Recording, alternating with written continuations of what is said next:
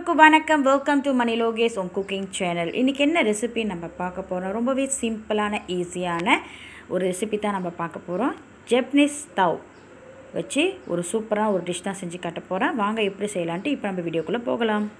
Japanese தவ்ஃபு செய்கிறதுக்கு நான் வந்து இன்றைக்கி ரெண்டு ஜப்பனீஸ் தவ் எடுத்திருக்கேன். ஸோ இதை வந்து நம்ம வந்து வெட்டி எடுத்துக்கலாம். ஜப்பனீஸ் தவை வந்து இந்தமாரி ரவுண்டு ஷேப்பில் நம்ம வெட்டி எடுத்துக்கலாம். ஸோ நான் எல்லா ஜப்பனீஸ் தவும் ரவுண்டு ஷேப்பில் வெட்டி எடுத்து வச்சுட்டேன். இது கூடவே நான் வந்து சிகப்பு மிளகாயும் பச்சை மிளகாயும் நறுக்கி எடுத்து வச்சுருக்கேன். ஒரு ரெண்டு சிகப்பு மிளகாய் ரெண்டு பச்சை மிளகாய் நறுக்கி எடுத்து வச்சுருக்கிறேன். ஸ்ப்ரிங் ஓனியன் வெங்காயத்தாள் நறுக்கி வச்சுருக்கேன். ஒரு நாலஞ்சு பல் பூண்டு எடுத்து சின்ன சின்னதாக கட் பண்ணி எடுத்து வச்சுருக்கேன். கருவாடு சுத்தமாக கழுவி சின்ன சின்னதாக கட் பண்ணி எடுத்து வச்சுருக்கேன். முட்டை ரெண்டு. சோயா சாஸ் வந்து ஒரு ரெண்டு டேபிள் ஸ்பூன் எடுத்திருக்கேன். இது கூடவே ஆயிஸ்டர் சாஸ் அதுவும் ஒரு ரெண்டு டேபிள் ஸ்பூன் எடுத்து வச்சுருக்கேன். சோள மாவு கார்ன்ஃப்ளவர் மாவு வந்து ரெண்டு டேபிள் ஸ்பூன் எடுத்து வச்சுருக்கேன். தேவையான பொருட்கள்லாம் எடுத்து வச்சாச்சு. இப்போ வாங்க சமைக்க போகலாம் முதல்ல வந்து ஜப்பனீஸ் தவை வந்து சோள மாவில் போட்டு டிப் பண்ணி முதல்ல எடுத்துக்க போகிறோம்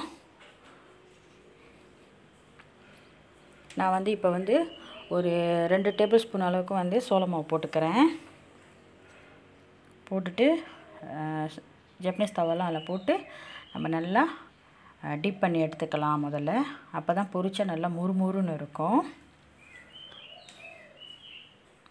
நான் வந்து இது வந்து என்னோடய ஸ்டைலில் செய்கிறேன் ஸோ இந்தமாரி பொரிச்ச பொறிச்சு வச்சாலே குழந்தைங்களுக்கு ரொம்ப பிடிக்கும். சாப்பிட்டு முடிச்சிருவாங்க. ஸோ முதல்ல நம்ம க மெதுவாக கரெக்டாக கவனமாக டிப் பண்ணணும். இப்போ பாருங்கள் டிப் பண்ணி எடுத்து வச்சாச்சு. இப்போ நான் வந்து பொரிச்சு எடுத்துடலாம். இப்போ வந்து ஸ்டவ்வில் சட்டி ஏற்றியாச்சு சட்டி நல்லா சூடு ஏறின பிறகு தேவையான அளவுக்கு எண்ணெய் விட்டுருக்கேன். எண்ணெய் விட்டு நம்ம முத மாரி இது டிப் பண்ணி வச்சுருந்தோம் இல்லையா சோள மாவில் ஜப்பனீஸ் தவெல்லாம் இப்போ அதெல்லாம் எடுத்து நம்ம போட்டு பொறிச்சு எடுத்துக்கலாம்.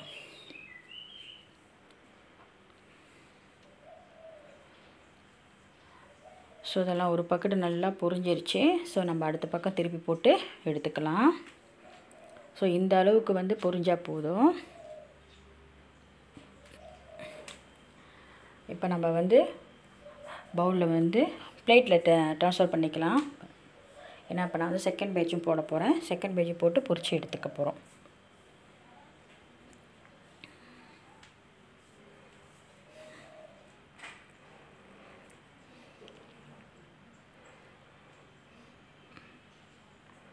நான் செகண்ட் பேஜும் போட்டுட்டேன். போட்டுட்டு இதையும் நல்லா பொறிச்சு எடுத்துக்கலாம்.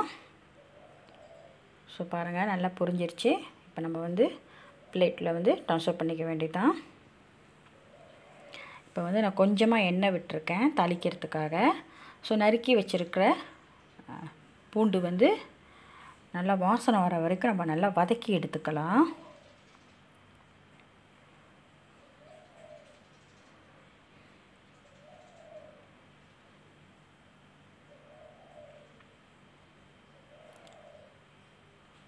பாருங்கள் பூண்டு நல்லா வதங்க ஆரம்பிச்சிருச்சு. இப்போ இது கூடவே கழுவி சுத்தப்படுத்தி வச்சுருக்கிற கருவாடு. நல்லா சின்ன சின்னதாக நான் நறுக்கி வச்சுருந்தேன் கருவாடையும் சேர்த்துக்கிறேன். கருவாடை சேர்த்து நல்லா வணக்கி விட்டுக்கலாம்.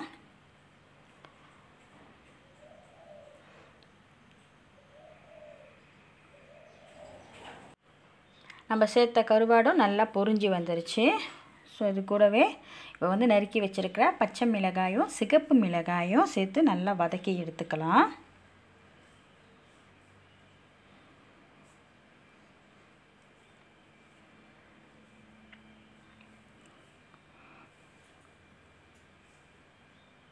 நல்லா வதக்கி எடுத்த பிறகு இப்போ இது கூடவே நான் வந்து ரெண்டு டேபிள் ஸ்பூன் வந்து சோயா சாஸ் சேர்த்துக்கிறேன்.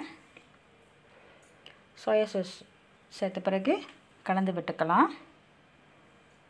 இப்போ இது கூடவே ஒய்ஸ்டர் சாஸ் சேர்த்துக்கிறேன். நல்லா ஒன்று ஒன்று நல்லா கலந்து விட்டுக்கலாம். பாருங்கள் இப்போ நல்லா கொதிக்க ஆரம்பிச்சிருச்சு. இப்போ அடுத்ததாக கொஞ்சமாக தேவையான அளவுக்கு உப்பு நான் சேர்த்துக்க போகிறேன் ஏன்னா நம்ம சோயா சோஸ்லேயும் ஒய்ஸ்டர் சோஸ்லேயும் உப்பு இருக்கும். அதனால் தேவையான அளவுக்கு மட்டும் உப்பு சேர்த்தா போதும். இப்போ இது கூடவே நான் வந்து தண்ணி சேர்த்துக்கிறேன். தண்ணி சேர்த்து இதை நல்லா கொதிக்க விட்டுக்கலாம்.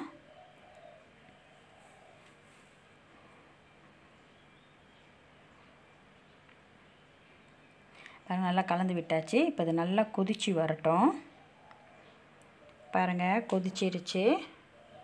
இப்போ இந்த ஸ்டேஜில் வந்து நான் வந்து ரெண்டு முட்டை சேர்த்துக்கிறேன். முட்டை சேர்த்த பிறகு நம்ம கலந்து விட்டுக்கலாம்.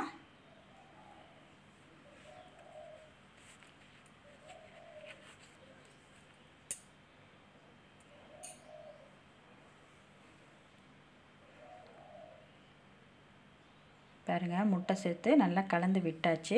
இப்போ லேசாக ஒரு கொதி வரட்டும். பாருங்கள் கொதி வந்துருச்சு. இப்போ நான் ஒரு கிளறு கிளறிக்கிறேன்.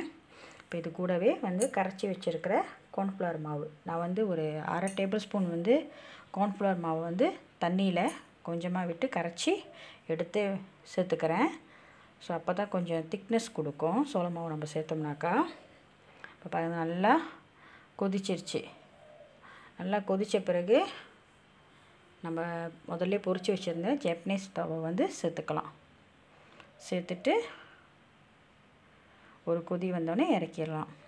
ஸோ உங்களுக்கு வந்து இன்னும் திக்காக வேணும்னா கூட நீங்கள் ஒரு ஒரு டேபிள் ஸ்பூன் கார்ன்ஃப்ளவர் மாவை சேர்த்து கரைச்சி விட்டுக்கலாம். இன்னும் திக்னஸ்ஸாக இருக்கும். பாருங்கள் இப்போ நல்லா கொதிச்சிருச்சு. பாருங்கள் இந்த அளவுக்கு திக்னஸ் இருந்தாலே போதும். நம்ம இப்போ ரைஸில் வச்சு சாப்பிட்றப்ப நல்லா சூப்பராக இருக்கும். பாருங்கள் இப்போ கொதித்த பிறகு கடைசியாக வந்து நான் ஸ்ப்ரிங் ஓனியன் வெங்காயத்தால் சேர்த்துக்கிறேன். வெங்காயத்தால் சேர்த்த பிறகு ஒரு கிளறி கிளறி விட்டு நம்மளுடைய ஜாப்பனீஸ் தவ் வந்து சூப்பராக தயாராகிருச்சு இப்போ நம்ம வந்து வேற ஒரு பவுலில் ட்ரான்ஸ்ஃபர் பண்ணிக்கலாம்.